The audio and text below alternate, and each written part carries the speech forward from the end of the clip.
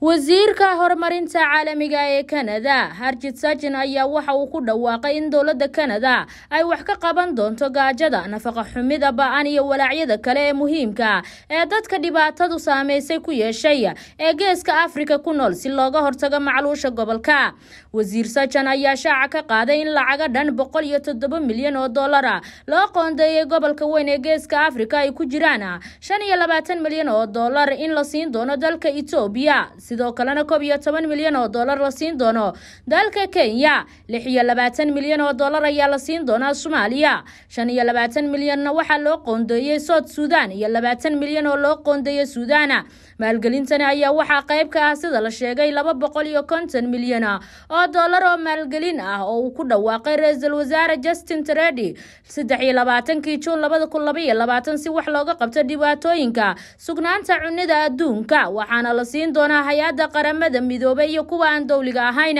wasiir sajan ayaa sidoo kale waxa uu shaaca ka qaaday in dowladda kanada ay bixin doonto lacag dhan koob iyo toban dhibic laba milyan muddo saddex sano ah. Hay'adda cunada adduunka ee w f b taasi oo loogu talagalay barnaamijka cunto nafaqeynta oo maalinlaha ah oo la siin doono in ka badan soddon iyo laba kun oo arday oo iskuulla ah oo ku kala nool gobollada soomaaliya iyo koonfurta suudaan ayna ka jirto cunayari bahsana. Tan iyo labada kun iyo labaatankii waxaa geeska afrika ku dhuftay abaar ba'an taasi oo ugu darneyd soomaaliya inay ku dhufatay abaartii ugu darneyd iyada oona inta badan dadka iyo dunyada ku dhaqan gobollada dalka soomaaliya ay la daalaadhacayaan abaar baahsan taasi oo horey mas'uuliyiinta dowladda ugu sarsareysa ay baaq ugu dirsadeen saaxiibadooda caalamka inay gargaar deg dega la soo gaarto. Maryan cali nuur maarisa c b a t v muqdisho